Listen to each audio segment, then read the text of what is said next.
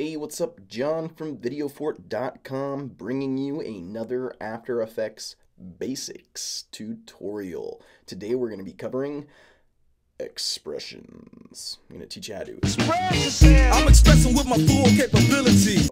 Maybe not express yourself, but show you how to uh, do expressions, which are kind of like math equations. I don't know, not really. You'll see what they are.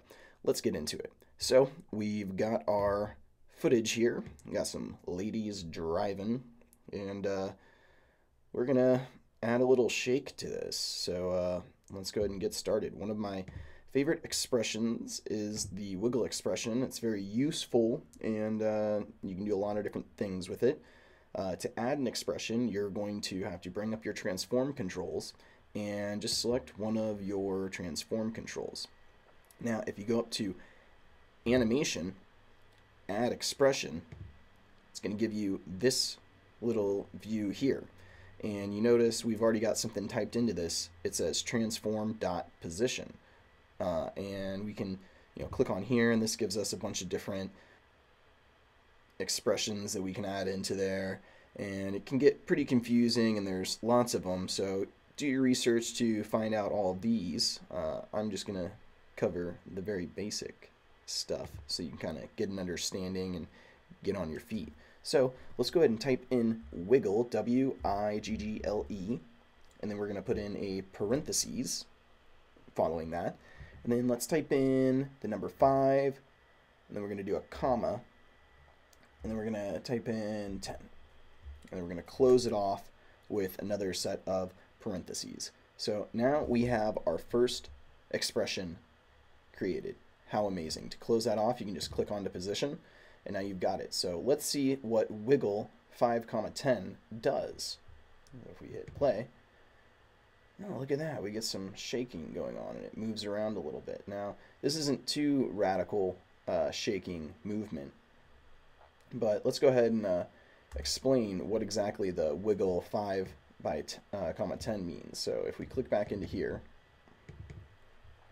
uh, we can get into our expression now. 5 is the amount of times the footage is going to shake within a second.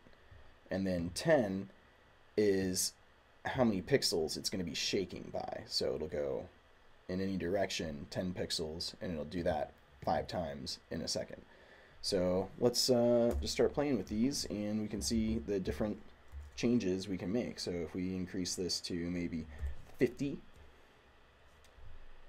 And then let's close that out. Now we're getting a lot of shaking. You know, this could be good. Let's say they're getting chased and it's an actiony scene and we want to show some panic. And so they're driving really fast and the road might be bumpy or let's say they weren't in the city, they're in a jungle and you want them driving on some treacherous roads. You know, you could use the wiggle expression to kind of recreate that. And you know, obviously this is more radical than you would want it. I'm just showing you guys an example of how it can be used. Now you also notice with this wiggle trend, uh, with this wiggle expression added, we're getting some transparency coming through on the sides. To get rid of that, we can just increase the scale and that is going to kind of blow it out so that the edges aren't lost, but we still get that shake. So it's like, oh, they're driving crazy or, you know, something like that. One of the downsides to using expressions is it's not really keyframeable, so you can't start and stop the wiggle. This is going to be wiggling throughout the whole scene. But let's say we only wanted it to start wiggling once it came up out of the sunroof right here.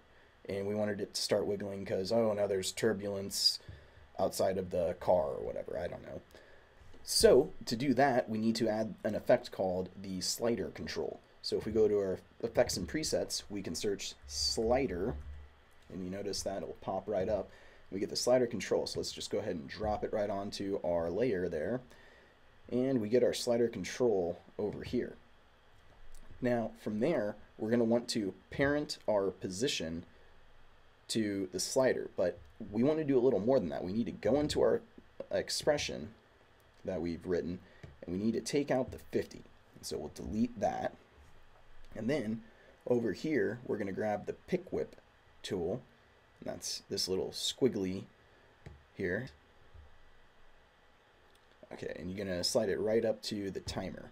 And that's going to pick whip it to there. And so now, anything that we set this slider control to, it's going to make that the wiggling or the amount of uh, pixels that it'll move up and down. So now that it's at zero, we get no wiggle. And then if we increase this, we'll get more wiggle. So pretty sweet how that works. And we can keyframe this slider control. So let's go ahead and find out when this rises up out of. So right about here is when we want the wiggling to start. So we'll go ahead and go all the way over and let's maybe get to about here. Set it to zero. Move forward just a little bit. Right about there is when we want it to probably to start to wiggle. So we'll move that up to maybe you know, 45. So now the wiggling will start, you know, right here as it starts raising out of the roof. And oh man, look at how crazy it is once we get outside the sunroof. So cool. So we can play that back. Now you notice when we did the pick whip tool, it brought in all this writing here. You know, the effect parentheses slider control parentheses slider. And that's pretty much just saying that we're connected to here and whatever this says is the value that needs to be put into here. Um, you can also change it. So let's say we want rotation to be on the slider control as well. So let's go ahead and go to animation add expression. And then we can pick whip this to the slider control. And now the rotation has the same effects as the slider control. Yeah, really, really great. Let's go ahead and delete that, get rid of that. And uh, let's actually add a wiggle to the rotation. So I can actually just do Command C if you're on a Mac or Control C if you're on a PC and copy this expression.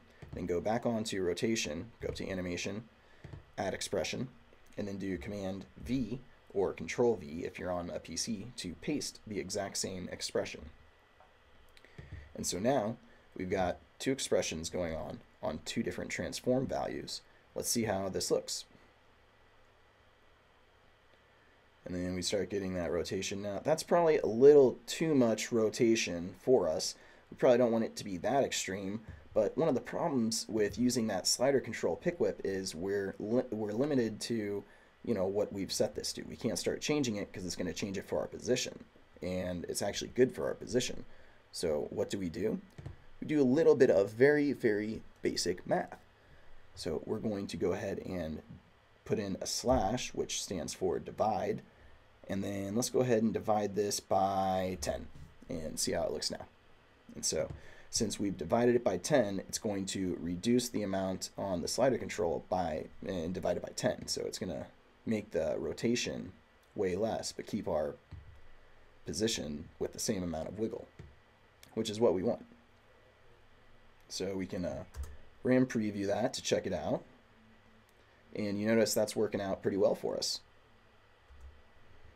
So we might even be able to reduce it just a little bit more. Let's maybe say, you know, divide it by 5. And that's going to, you know, give us more rotation. And if we wanted less rotation, we would just divide it by a higher number. So maybe 20.